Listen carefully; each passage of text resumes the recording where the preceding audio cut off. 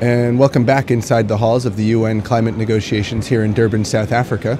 Uh, we have the honor right now to be uh, to be joined by Zaid uh, Shopeju from uh, from Nigeria, and uh, Zaid is a is a youth leader, uh, a leader uh, and trainer of young people in, in Nigeria. Give us a little sense of, of what you're what you're working on back in Nigeria. Thank you. Um, one of the things I do that my organization do, the Youth Vision Alliance Network, is to empower youths with sustainable leadership skills skills that will give them the opportunity to get the kind of job they want. And also, we talk about uh, leadership here because you can uh, divorce leadership from employability, from entrepreneurship. It's very essential. So, we empower them with soft skills, social skills that could make them a responsible citizen. And at the same time, we talk about breast and cervical cancer, which is um, one of the number one and number two killer of women in Nigeria and all over the world.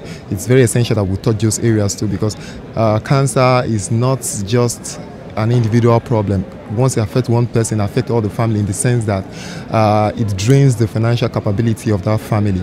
So it's essential that we train people, tell people, inform people about choices they can make mm. to save themselves from this.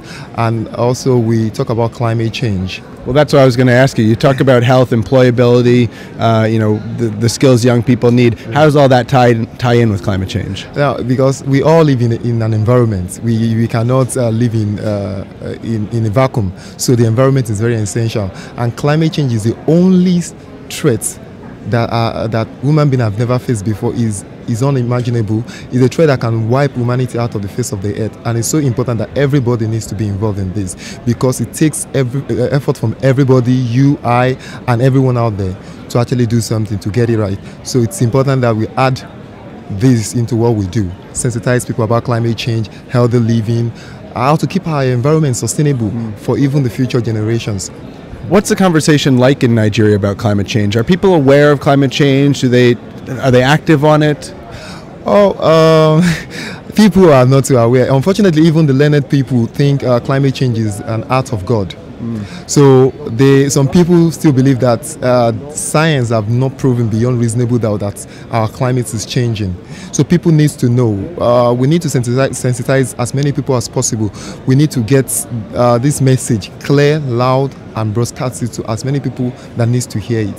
So what we, we're trying to do is to, to enlighten people and raise the awareness of climate change in our local community. So in Nigeria, uh, it's not been widespread, but we have been trying, working with other youth organizations and other civil society bodies to amplify this message of climate change and how it affects our lives. And of course, we should mention that the science has now become very clear on, on that issue, and there there is no doubt remaining that climate change is happening, that human beings are, are causing it. Yeah. How are you getting that message across uh, in Nigeria? Uh, well, th- uh, that, that's one of the reasons we are working with 350, the global movement. You know, 350 is not just a, is not just a number; it's a very symbolic number that, that talks about the science of climate change that we need to come back to 350 parts per million carbon dioxide in the atmosphere. Mm-hmm. Presently, we are above the cutoff. We are above the, the threshold of uh, of the amount of carbon dioxide we need in the atmosphere. Right now, some according to science, we have over 393 parts per million of carbon dioxide in the atmosphere,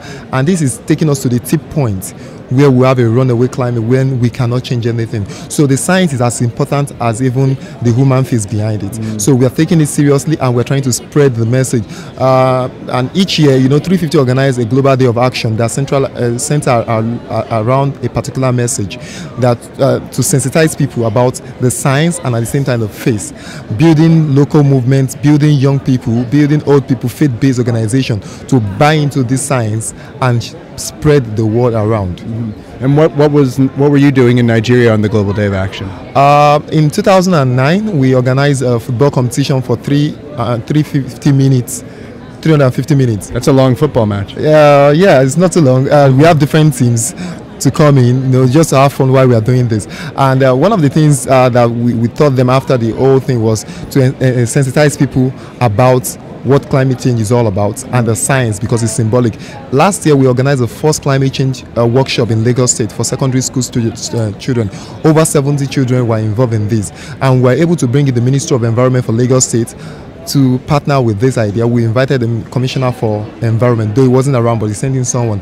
And uh, we talk about project management and also what 350 represents to this youth. And uh, thankfully, most of them activated this project in their school, Going Green project in their school. So this year, because of the scope of the event for this year, we need to partner with other organizations that have been proactive and have been very active in the field of environment to organize the Global Day of Action, the Moving Planet Day. So this year focus more on moving our leaders to take action to move away from fossil fuel. So uh, we did it in a two-way thing. We organized workshops in different part of Lagos. The mainland was we went to some schools in, on, on the mainland, different schools on the first day of the workshop. The second day we went to some schools on the island. The third day we had a rally where uh, interestingly people were riding sprint tilt mm. towards the office of the governor and we made our demand when we got there that we need um, a safe lane for bicycle riders. Lagos is a very overpopulated. Bicycle riders have a safe lane in, in Lagos. We don't. That's why we are we are demanding. I've seen the traffic in Lagos. It's incredible. Yeah, very ter- terrible. You know, as we the st- traffic start building up as early as four o'clock in the morning, you can't believe that. So people have to leave their home very very early. Lagos is one of the most populated. Um, um, um, populated cities in Lagos State, and also the, the, the, the, emission of carbon dioxide in Lagos is unbelievable. Mm. People tend to take bicycle um, uh, machines and uh, motorcycles and stuff like that to office, which is also increasing our personal uh, carbon footprint. So one of the things we are doing is to to start the culture of bicycle ride, uh, riding in Lagos State. You don't need to uh, take a bus down to every stop. You can actually walk or take a bike, but it will be foolish of someone to ride a bicycle in Lagos State because the traffic, the, if there is no gangway, there's no sidewalk for you to do this. It's dangerous. It's quite dangerous. So we, we spoke to the governor about this. We told him about what we want to achieve, and he said we should liaise with the Commissioner for Transportation and Environment, which we have since been liaising with them, telling them what we feel they can do to mm-hmm. actually get this off the line. And uh, you know, Lagos State shares some similarities with uh, Mexico City, which has almost the same population and almost the same demographic settings. So what we tend to do is to to to recommend that they start a pet uh, a pilot project in some uh, strategic areas in Lagos State to see how it's going to work out when they try to implement it in a much more bigger scale. And what sort of reaction have you had from government officials when you when you press these environmental causes with them? Uh, I was surprised when I met with uh, the director for for drainage services in Lagos State. She said that she has been thinking along that line for some time now, and she was quite surprised when she saw our proposal. And she really loves it, and she said she's going to push it forward as much as possible. So we are counting on our support to get this done. Also, we we feel that the governor too is ready to buy into this, but we need more political will to get this done because it will need a lot of restructuring. It will need a lot of planning, even from beyond the two ministries, the Ministry of Transportation and Environment, we need other ministries to get involved. We need the Ministry of Health, we need the Ministry of Youth Development, we need the Ministry of um, uh, Urban Planning to get involved because we need to really plan our city. Look at Durban; it's a very beautiful city. Yesterday I was riding bicycle for over for almost four hours. It was a blast because yeah, I wanted to see the city. I don't need to you know to pollute the uh, the, the the city because of that. So I went on a bike with my friends and it was fun and it's also healthy for me. I feel better this morning when I woke up. So people should appreciate that and people should embrace this culture. So we, we need our leaders to just have this vision and stop protecting the polluters. Let's follow the people, the, the 99% of people that suffers most from this. The children, the the, uh, the the women, the youths. Those are the people we should protect. And I know that they want to protect them, but we just need the political will to do that. So you guys are doing a lot of work lobbying uh, your government officials back in Nigeria, but you're also on the ground here in Durban. You've been here for, for a week now. Uh, what's what's your experience been like here? What have you been up to? Well, I have been working with uh, different uh, youth organizations here. Unfortunately, our government delegates have not been here as at Wednesday last week. It was quite disappointing because when the negotiation was you know getting heated up, we need our government to be here, our government delegates to be here. We so the Nigerian delegation wasn't even here until last Wednesday? Yeah, until last Thursday actually. Mm. And I, according to some information we are, we are getting, some of them will be leaving tomorrow, Tuesday. Mm. So it, that is ridiculous. When other people are coming, this is the most important week. This is when we need all hands on deck, and some of them are going back home. It's funny, it shows that we are not ready to do the right thing. And for us youths, this is unacceptable. If they feel that they are not ready to take action, they should step aside and we will take that action for them. So one of the things is to put pressure on them and let them know that we this is a matter of survival for us youth because in the next 20 30 years they might not be uh, around but we will still be around our children's children will be around we have to safeguard our, our future and we have to act and you, I believe you have some uh, some actions, some some projects coming up uh, later this week. Yeah, we we have spoken to the, the we went to the visual teleconferencing center uh, being run by Cisco, and we spoke about organizing a kind of a teleconferencing between us and the youth back home. And they said it's very possible. And we are trying to work out the arrangement for Wednesday so that youth back home can actually get involved with what is happening here. We are going to tell them about what we have been doing so far. Uh, the challenges we have been facing, uh, the organization we have partnered with to carry out our actions, and what they expect from us, their concerns, what they have been hearing over the news. We want to know and what they feel that we should do. So putting all this into consideration will help us to to, to move more with focus and see how we can influence our negotiators to act. And what are you what are you asking your negotiators to do this week?